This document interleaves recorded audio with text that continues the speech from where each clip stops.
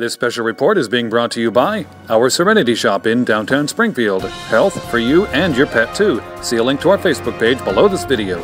Uh, this is Jim Ball reporting in Springfield. A man was shot at the Westgate apartment complex in Springfield this evening. Police were called to the location around 7:30 p.m. The apartment complex is located near 5th Avenue and Central off R.W. Gordon Drive. Unfortunately, police have very little to go on at the moment. They have no shell casings, no suspects, no weapon, and no witnesses. The police are releasing little information about the victim at the moment, uh, so we don't have a name for you.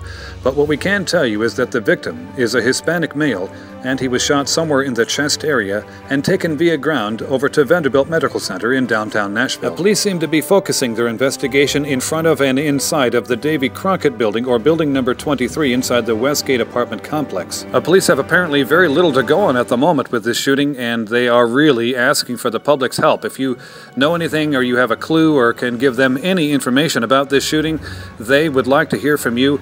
Uh, they said this uh, crime absolutely qualifies for the Crime Stoppers money, so if you have a tip, uh, be sure to call Crime Stoppers as soon as possible. We'll post the uh, Crime Stoppers number and the Springfield Police Department's number below the video, but uh, Crime Stoppers is a very secure way to deliver a tip.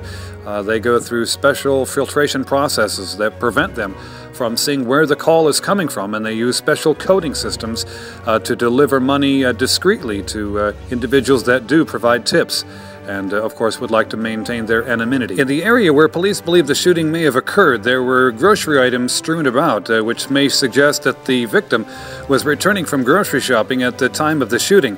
But as I indicated, there were no shell casings and they have no weapon or suspect at this time. Uh, normally, when uh, the media shows up to a scene like this one, you would expect to see detectives and officers tagging and marking evidence within the crime scene itself. But in this case, uh, they seem to have very little to go on, and uh, that's why they were reaching out to the media to try to get the public's help. So if you have any tips or leads, they are very interested in speaking to you because all they have at the moment is a victim and some scattered groceries. As Smokey, of course, will continue to track the story as it develops, including the condition of the victim.